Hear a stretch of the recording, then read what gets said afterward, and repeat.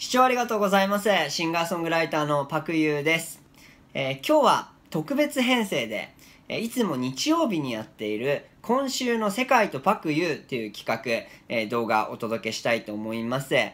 まあ今日のうちに話しておきたいことが一つあるっていうのと、あとは明日日曜日、えーちょっとアップしたい動画があるので、まあそういうこともあって、え順番を入れ替えました。え今日が今週と世界とパクユー。えーこの企画は、えー毎週、えー世界で、え？ん？ちょっとわかんないぞ。えーっと、あの、この動画まず編集なしでやってるんですけど、毎週、え世界中で起きたホットな、ね、話題をネタに、えパクユがゆるく、ラジオのようなトークをお届けするという企画です。えなんとか、え趣旨お伝えできました。で今週は、えまあね、あの、世界中のホットな話題って言いながら、あの、そういった話題に触れずに、えー自分の好きなこと喋るっていう回が多いんですけれども、今週はちょっと皆さん、気になるニュースといいますか、実際に大変なことになってる方ももしかしたらいるかもしれません。テルミクラブですよね。あの、旅行代理店の破産の話ですよ。あれすごいですよね。僕、すごくお家が好きな人間なので、旅行って全然行かないんですけど、しかもその海外旅行となると、えー人生の中でま何回かしか行ったことがなくて、えーその何回かも中学高校生の時に、まあ、学校の研修プログラムみたいなので、えーま、ツアーみたいなのをこう組んでもらって、えそれで、え大人の人たちの引率もありで、え海外旅行するということしか経験がないのであの友達と旅行に行ったり、え家族と海外旅行行ったりそういえば家族もねないっすね多分海外旅行、うん、もしかしたら、えー物心つかないちっちゃい頃にどっか連れ回されてたかもしれないんですけど、えー記憶にはちょっとないです。でえっ、とまあ、え恋人と海外旅行行ったりとか、えっていうことも、えないので、うんまあ大変そうだなっていうこう、まあ、どっか一言だっていうところもあるんですけど、まあ、それでもねあの SNS とかで、え僕の友達がやられたみたいな投稿をしてたりとか結構身近な問題なんだなっていうふうに感じてます、えーまあその支払った代金、えーまあ何々プランとか多分あるんだと思うんですけどどこどこ海外旅行、えーいくらみたいな、えーそれが返ってこないっていうのもまあもうふざけんなって話なんですけどまあそれにも増してもう海外行っちゃってて、えーそのテレミクラブが、まあ取り仕切ってたツアーにツアーっていうかまあプランにでで、えー海外旅行行ってた人があのあとは自力で何とかしてみたいなことになってるらしくてそれちょっとすごいですよね。まああのいろんな知識を持って、えー旅行慣れしてる人だったらまだいいですけど初めての海外旅行とか行ったことのない土地とかそれとかまあ現地の言葉もろくせっぽ勉強せずにまあなんとかなるっしょとか言いながら、えー旅行行ってでいろんなねあのまあ日本の関係者っていうか、えーそういったものを当てにしていた人っていうのはちょっと身の危険を感じるというか本当に困っちゃってんじゃないかなっていうふうに思いますね。あの自力で何とかしてくださいとか言うんだって、えーちょっとびっくりしました。でまあさすがにねあのなんか旅行関係の、ものにはこう国もちょっと関わってるみたいで、えー救済措置みたいなのもあるみたいなんですけれどもまあ、えー払ったお金全部返ってくるってことはないだろう難しいだろうっていうことみたいです。えー、と今回ね、えーその実際に被害に遭ってしまったという方は本当に、えー、とまあなんなんて声かけなんて言えばいいんですかねわかんないですけどあの本当に悔しい思いしてると思います。でまあ今回はセーフだったっていう人も、まあ、僕も含めて、えーこの事件で何を学べばいいのかと。まあ安いものには理由があるとえいうところもそうなのかもしれませんが、にしてもね、今回のあの破産騒動っていうのは悪質だったという、えーニュースちらほら耳にしております。で、うんまあやばいとことそうじゃないところ見分けるっていう意味でも、まあ、お金の流れについてしっかりあの勉強しとくっていうかあの相手の手の内なんとなくこういうところでやってんだなみたいなところこう予想つけるみたいなあそういう知恵っていうのは必要なのかなっていう生きていく上で、えそんな気がしましたで、うん、まあ一つ簡単な目安というか広告にはお金がかかってるんだと、えいうことを、うん、頭の片隅に置いておけばなんかいろんなことが見えてくるかもしれないですね。その広告の媒体だったり広告量だったりあと広告の質だったりえそういうところでそこにどれだけのコストがかかってるのかっていうのがあのなんとなく見えてくると思うんです。あの例えば、えー、看板出すにしても渋谷の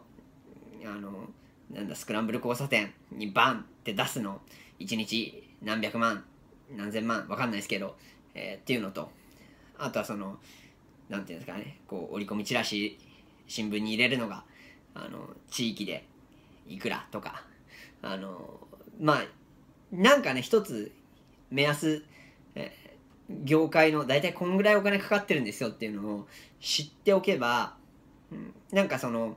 会社の実態が見えてくるっていうかここにこんなにお金かけて、えー、この値段で大丈夫なのかなってちょっとこう怪しがってみたりとか、うん、だからそのテレビクラブの破産騒動の裏でえっ、となんか探偵社か何かが、ま、なんか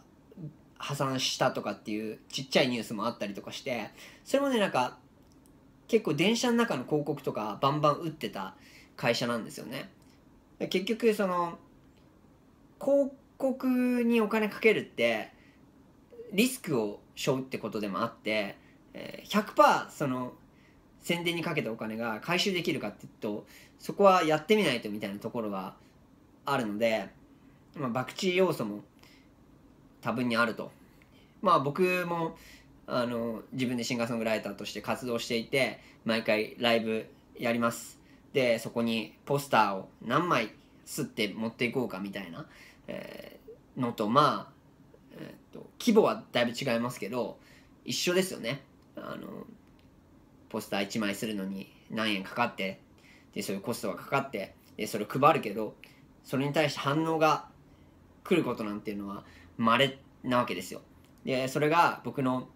収入につながる可能性なんてのはもっと低いわけでまあそういうのと一緒ですよね。世の中の全てのものの広告にちょっと注目してみるとあのなんかこう騙されたみたいなことが、えー、減らせるんじゃないかなっていうふうに思います、えー、そんなことを、えー、このニュースで僕は感じましたと、えー、ちょっとどうなんですかね？あの僕はね、うん、まあ基本は音楽をメインに音楽のことばっか考えてる人間なのであの浅はかな部分っていうのもたくさんあると思うんですけれども、えー、そういう場合はねあの、まコメントとかで「いやあんたはそう言うけど」とか「確かにそうだね」とかだけいろいろ意見聞かせてもらえたら嬉しいなっていうふうに思います。えー、結構あの思ったより熱く語ってしまいましたがあの今日この今週の「世界とパクユー」えー、やりたかった理由っていうのがですね明日ライブやりますライブっていうか演奏しますって感じですね以前にもあのこれ見せたんですけれども光が丘つながりフェスっていう、えー、桜祭り、春祭りみたいな練馬区の光が丘っていう場所で行われるお祭りの音楽ステージで歌ってきます。光が丘公園、光のアーチ欅広場っていう場所で。で、これね、あの、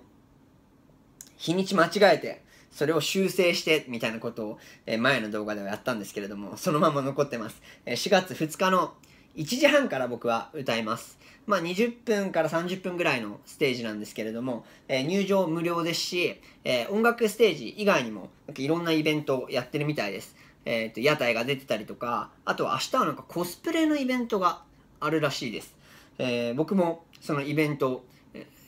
ー、みんな以上に、周りの人以上に、えー、はしゃいで楽しんじゃおうかなと思っております。で、えー、ぜひぜひ、あの、お近くにお住まいの方は、遊びに来てください。まあ、お花見がてらと言いますか。うん。まあ、ちょっと、結構ね、僕、光が丘何回か行ったことあるんですけど、まあ、住宅地なんですけど、なかなか気持ちいい感じなんですよでそこに桜がバーって咲いてたら結構うん気分いいんじゃないかなって思います。で明日はなんとか天気も持ちそうなので本当にあの都内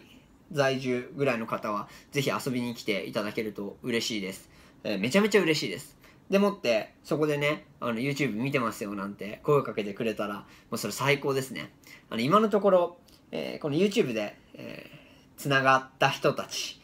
と、えー、直接、まあ、ライブだったりなんだったりでコミュニケーションを取ったことがないのであのぜひ第1号になりませんかっていうことであのお待ちしております。で、えー、まあこう全世界にこの動画っていうのは発信してるわけで、えー、光が丘どこやねんみたいな人がほとんどかもしれません、えー、そういった方々のためにあのまあ僕の歌った、まあ、ステージの様子っていうのもそうですしえそのお祭りの様子っていうのもしっかり動画に収めて、え1本2本ぐらいまあ1本かな？わかんないけど、えー、動画作って、えー、後ほどアップしたいと後日アップしたいと思いますので、えー、そちらで、え桜フェス桜祭り気分を味わっていただければ嬉しいかなと思います。ということでうんちょっと今回は饒舌でしたね、えー、たくさん話してしまいました、えー、最後までご視聴いただきありがとうございましたコメント、チャンネル登録よろしくお願いします。ありがとうございました。